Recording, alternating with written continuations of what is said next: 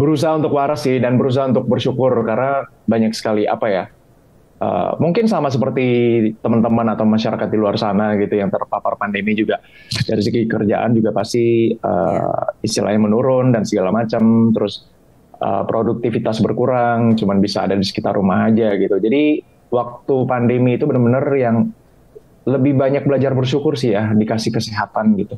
Ya. dikasih kesehatan aja udah cukup kayak itu udah luxury buat saya gitu, buat keluarga saya gitu.